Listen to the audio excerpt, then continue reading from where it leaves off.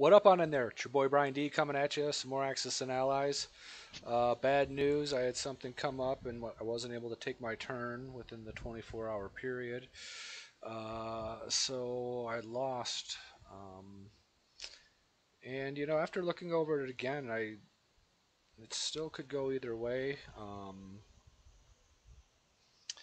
I'm going to reinforce this obviously with with Russia so that he cannot take maybe move some tanks down here, some German tanks, and uh, slowly just keep holding on to this.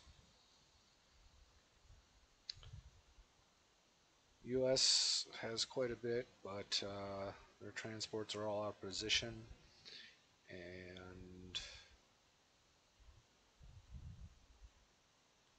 yeah, Japan just went wild.